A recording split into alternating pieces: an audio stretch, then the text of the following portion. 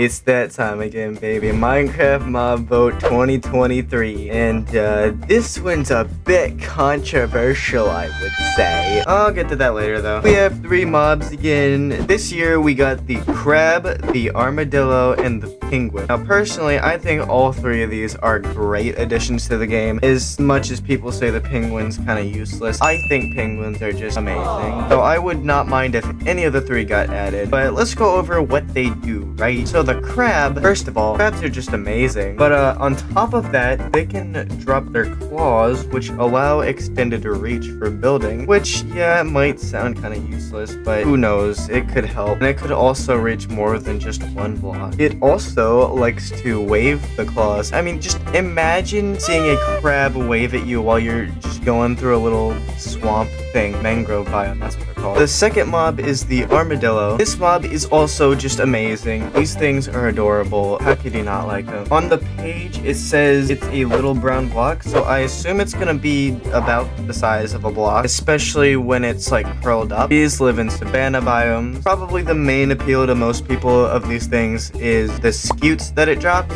which you can turn into dog armor. I do understand why people would want dog armor, but me personally, I never take my pets outside the house in Minecraft, so it's not very useful to someone like me. The final mob are penguins. Now, penguins are just cool animals, okay? I just love penguins. Obviously, they spawn in like snowy biomes. It says stony shores. Not really sure what that looks like, but I'm assuming it's a cold place. It says they're clumsy when walking. That's probably gonna be adorable. And they are good swimmers. And they also give you basically dolphin's grace for boats. People make fun of that for just being a dolphin's grace too, but boats already go, I think, just under how fast you go with dolphin's grace. So imagine how fast you would go with dolphin's grace on your boat, or I guess it would be penguin's grace in this case. That would be cool if it wasn't put in a vote against two other mobs which are definitely better. It's unfortunate. I would have liked it,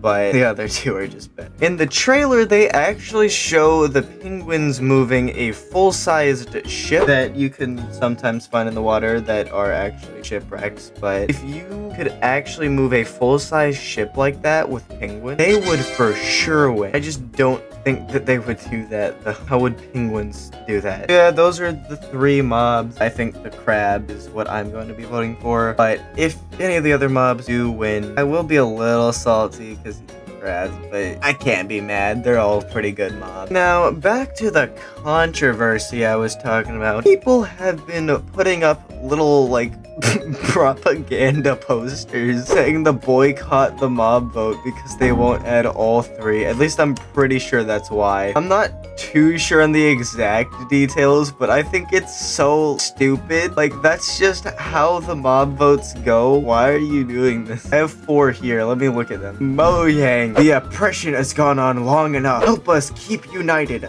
Boycott the mob vote. For all three mobs, we must resist. Don't cast your vote. For balance and fairness, we must promote. Even if you get people to do this, there's still gonna be people voting for the mobs that they want. This isn't gonna do anything. Boycott the vote. Why settle for less when we could have all? Abolish the mob vote. I want you to help me in the mob vote. Like, these are just so stupid. And they're taking, like, real propaganda posters or whatever. And, like, I don't even know if that's the right thing to call them, but they're taking, like, real posters and turning them into Minecraft stuff. Basically, the gist of it is people want all three mobs added because they're all actually good this year. There's no obvious winner, unlike the last years, which uh, I'm still mad that the Copper Golem didn't win. I have never used an Allay in my life. I've gone out of my way to look for them. They're so rare as well.